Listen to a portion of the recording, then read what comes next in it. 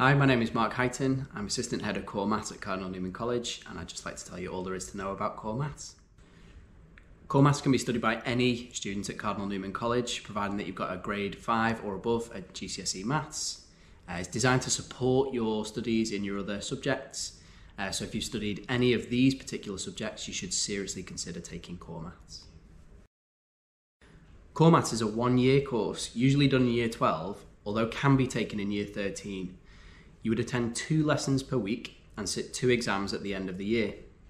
The specification covers a variety of math skills that are applied to real world contexts, including financial problems, estimation, and the representation and interpretation of data. This is an example timetable for a student studying three A level equivalents. We have a six letter block system, and your A level equivalents, either across A levels or BTEC qualifications, could be spread across the letters A, B, C, D, E, and F.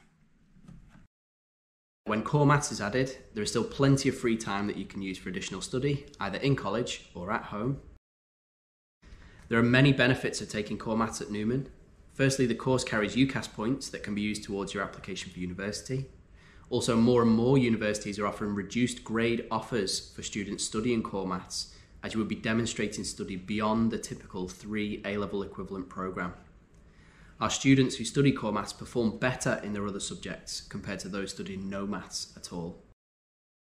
There are two strands of core maths you can study at Newman, depending on the other courses that you choose.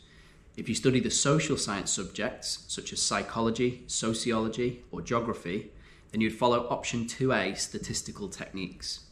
If you study the science based subjects, or economics for instance, then you would follow option 2C, which is graphical techniques. One of the main benefits of studying core maths is the potential for reduced grade entry criteria to university courses. Here is a list of university courses where core maths is welcomed when applying. This list is growing all the time as core maths grows in popularity. One highlight is the reduced entry criteria at Lancaster University if you want to study medicine, typically one of the most competitive courses to apply for. Lancaster University will reduce the entry criteria to AAB in three A levels with a grade B in core maths. Based on the recent announcement of the Prime Minister, studying maths beyond the age of 16 will soon be compulsory. Core maths is likely to form part or all of this requirement, meaning students who are younger than you will have additional qualifications if you decide not to study core maths whilst it is optional.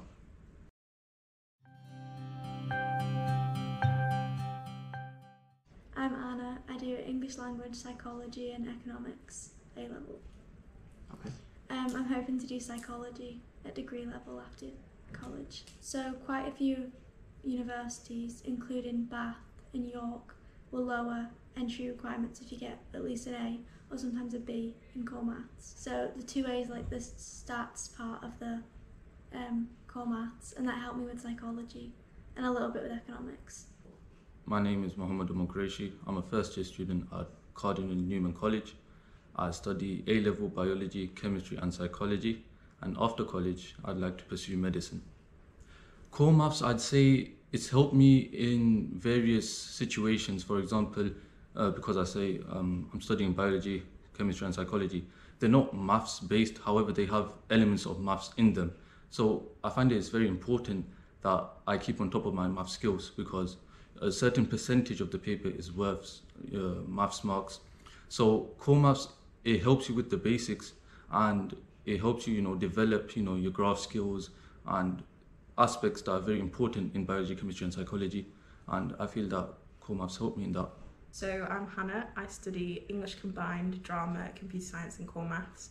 And afterwards, I'm hoping to go on and do computer science at degree level with artificial intelligence, hopefully at Durham. I went there this weekend um, and I went with, I talked to with someone who'd done a, their PhD in um, computer science, which is what I want to go up to. And he said that there would be a great possibility of me being able to do it had I meet these certain entry requirements to do a foundation year because a lot of universities will offer that foundation year, especially if you have core maths. So not only will you have the lower entry requirements for doing a foundation year, but because you do core maths, a lot of universities will offer lower grade boundaries, foundation year or no foundation year if you do core maths. Core maths has really helped me in terms of um, being able to build up and kind of move and progress into uh, like adult life. It's taught me a lot about what I can kind of look forward to in terms of taxes and mortgages and just kind of being an adult and getting that independence when I'm older. It's also helped me in a computer science sense because I tend to look at things from a different angle and different perspective, i.e. a core maths perspective, whereas a lot of people who do maybe third maths and maths maybe not don't look to because they don't study the exact same things that we do in core maths. My name is Thomas, and I am studying accounting, politics, modern history, and core maths, and I want to do an apprenticeship in accounting. Core maths has really helped me in my accounting A level, um, and it has really helped me get some work experience in an accounting firm as well as in an investment firm. They were quite eager to know about my um, core maths um, subject. The reason I took um, core maths was to help me in accounting um, and it has helped me especially in um, calculating um, finance in terms of when you are doing financial statements and things. My name is Ayman Ajaz and I am currently studying psychology, biology, chemistry and core maths and I'm planning to study medicine after college. I think the most uh, I don't know mainstream complaint about maths is like it doesn't fit into context in the real world like how when do we use trigonometry? When do we use graphs in the real world? But like with core maths i got to understand how maths relates to the real world. Like we learn how to do taxes and student loans and all that stuff. So i feel like i'm more street smart because of core maths. If you've decided that core maths will be beneficial for you you can simply ask to be enrolled onto core maths during the enrolment process after you receive your gcse results we also have a course change window of around four weeks at the start of the academic year called Newman Extra, which provides another opportunity for you to take core maths if you wish. You want to know what a typical core maths question looks like? Well, here's an example. Fermi estimation is a big topic in core maths that usually carries a lot of marks in a paper 1 exam. In core maths, marks are predominantly given for your method rather than for your final answer. But in this topic, the final answer doesn't even matter. Because the process of arriving at an answer is more important than the answer itself, large corporations such as Google, Amazon, and Apple have used a similar style of question in their job interviews. Feel free to pause the video and have a go at this question yourself. See how close you can get to our model answer, not that it matters. In order to answer this question, first you need to consider what assumptions you will need to make before you begin calculating an answer. A good approach with this topic is to make the problem smaller. So instead of simply guessing how many times an average person blinks in one month, try instead to extrapolate from how many times you blink in one minute. Then assume how long you would spend asleep or awake on average, as you won't blink in your sleep. Uh, you also need to assume how many days there are in one month. Most months are 30 or 31 days long, but February is 28 days long or even 29 if it's a leap year. Then you should use your assumptions from the number of times you blink in one minute to work out how many times you blink in an hour, then in a day, and finally how many times you blink in a month. Did you get close to 345,600? If not, it doesn't matter anyway.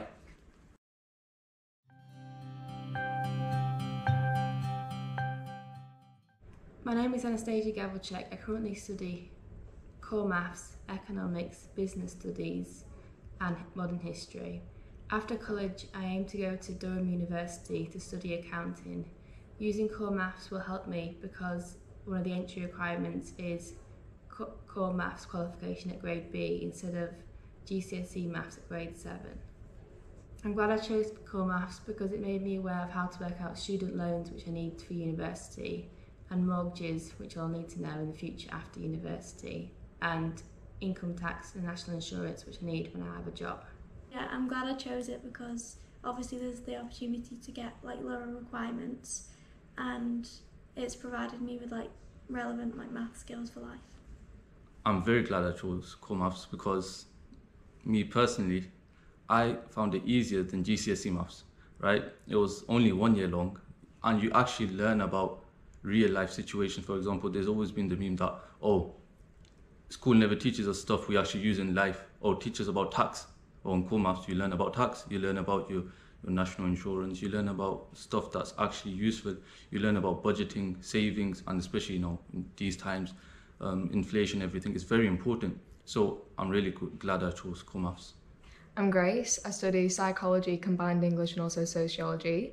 And after college, I'm hoping to do psychology for a PhD and hopefully go to Edinburgh University. I'm really glad that I chose to study core maths just because it's helped build my confidence with general life skills and building up my knowledge of finance and learning how to handle money and just general knowledge. I'm really glad I chose chose core maths because it kind of unlocked this potential and more of a confidence in me to kind of think that I am able to do these sorts of things and I am able to apply myself in a mathematical sense as someone who's maybe more of a creative sense by doing English and drama, but someone who can also kind of apply themselves in a STEM sense and a, in a logical sense as well.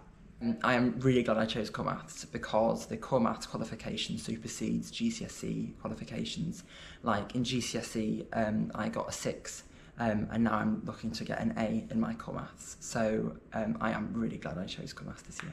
I'm very glad that I chose core maths because I got to learn how uh, maths relates to the real world and how stuff with Fermi estimation and taxes and student loans, how I can use that in like in my life after college, after university.